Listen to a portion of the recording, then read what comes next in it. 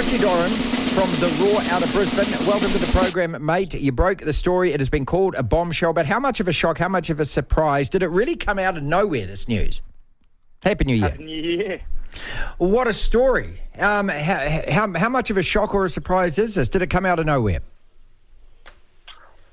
Look, it didn't. It didn't come out of nowhere at all. It was in December, um, shortly after the Wallabies um, and Rugby Australia officials arrived back in down under following a, a disappointing and underwhelming spring tour where the Wallabies won two from five, but at the same time suffered a historic maiden defeat to Italy.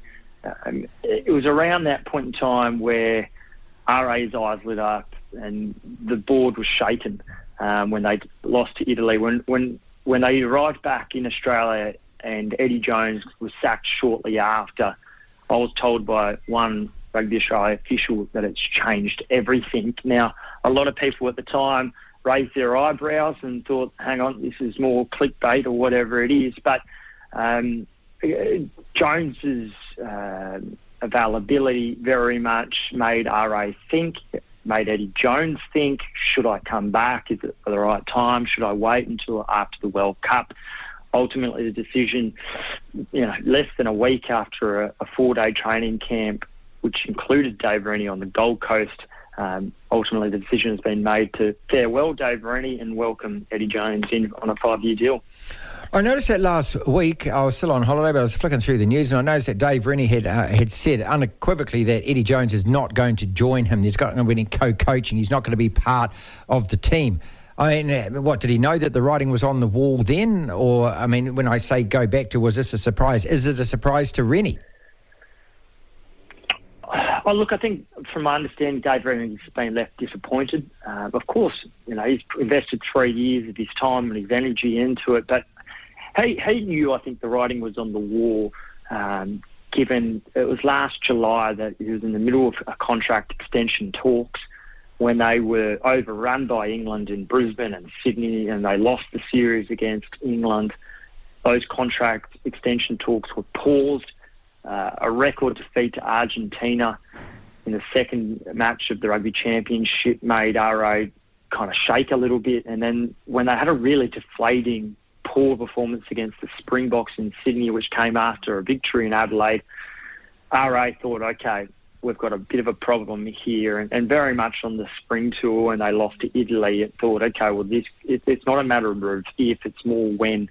So um, disappointing, of course, for, for, for, Dave Rennie. I think many people think, and I, I, think the Rugby Australia board still thinks he's a good coach, but is he the right coach for this Wallaby side? That's the question that they've ultimately said, no, he's not.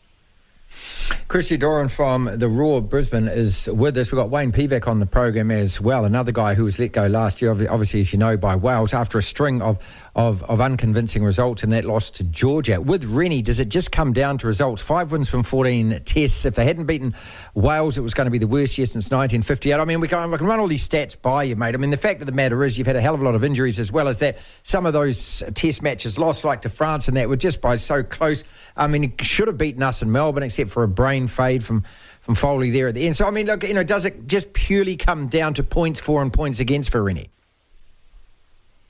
Oh, I think it does. It's, he's got a 38% winning record, and unfortunately, that's the long and the short of it. Um, uh, we know international rugby is so tight these days, so it, it comes down to well, how do you turn those narrow defeats into wins? Because it really looks like excuses for a lot of it, and you can uh, uh, applaud um, the courage that was shown at particular times to hang on, which is you know words that Dave Rennie would often use. But they lost on the spring tour in 2021, where they lost three matches after a five-match winning streak, and and the, the defeats there, one against Scotland, which was right in the you know there for the taking um, against England. They they played terribly, but they hung on through some good accurate goal kicking and then fell off. And then against Wales, they probably should have won that in Cardiff, yet they had another close defeat where they couldn't close it out. So why? Why do you always keep coming just short? And and maybe it's a personality thing. Maybe it's a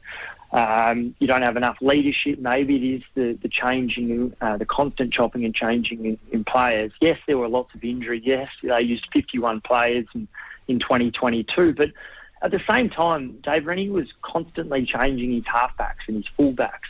I think of Nick White last year, Tate McDermott, Jake Gordon, three pretty capable nines. But even on the spring tour, Dave Rennie would say, we're, we're planning on rotating our nines. Why?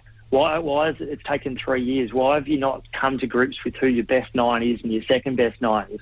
Because I don't think you need three years to work that out, and they will fit for the entire campaign last year, with the exception of Nick White missing the final test against Wales because of a head knock. Um, you know, they're, they're some of the, the, the little things uh, which might have been overlooked or might have been glossed over, which I think have, have really kind of painted a picture around Rennie's coaching ethos. And finally, we thank you so much for your time. Um, at such um, a short notice as well. Hamish McLennan, who, uh, to be honest, um, has, has an image over here, mate. And I don't mean to be disrespectful, but you know he's got a bit of a crunchy, the cl- you know the clown image, and that he just sounds off about all kinds of stuff. Half the time, no one knows whether he's right, whether he even knows what he's talking about. He says here. It's a major coup for Australian rugby to have the best coach in the world return home to coach the iconic Wallabies. Is he serious? What is he? What is he talking about? I mean, Eddie Jones hasn't won anything. He hasn't won a World Cup or anything. He's lost in a final a couple of times. How can he be seriously describe him as the best rugby coach in the world? Okay, hang on. I'll, let's scroll back.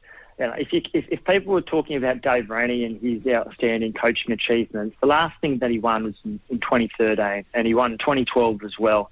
Uh, he did have Wayne Smith and a, and a number of very, very talented players like Sonny Bill Williams and, you know, the Sam Canes, Brodie Retallicks, Aaron Crudens, you know, greats of the All Blacks. Mm, mm. You know, you compare that to Eddie Jones, and he's taken over from England. They won 18 straight in 2016 to 2017. They won the Grand Slam then. They won in the Six Nations in 2017.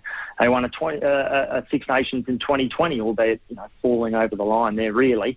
Um, uh, but they made a World Cup final. They made a, a, World Cup final in 2003. Eddie Jones orchestrated the greatest upset in World Cup history when the, the Japanese beat the Springboks. He's won a, a, World Cup as a technical advisor alongside Jake White in South Africa. I think to um, to state that he's not won anything is ridiculous, uh, Martin. And uh, Eddie Jones is an Australian, and you know there is a sense in Australia that maybe there needs to be a few more Australians back in the game here because coaching Australians is very different to coaching New Zealanders, like it is very different to coaching South Africans. And I spoke to the Rebels coach Kevin Foote about this just last week, and he said that it's a hugely different approach. And I. Uh, and, and, and said, you know, in South Africa, you just tell them what to do and they'll do it for you. But in Australia, they ask questions of why, etc., etc. So I, I, think I, I, personally think it's a bold call, it's a big call, but I, I, think it's the right call. I think delaying it any further, if you if you don't think that Dave Rennie was the right man, uh, well, why, why, let him go through to the World Cup? Um, I think Eddie Jones, a 73% winning record with England, he's a proven operator. Uh, but the proof will be in the pudding. But I know for a fact that RA and Rugby Australia have been really circling in the diary 25 and 27, the home Lions series and a home World Cup. This year, I think if they make a semi final, I think it'll be a success for them. But I don't think they should just be aiming for a semi final because they've got a great draw.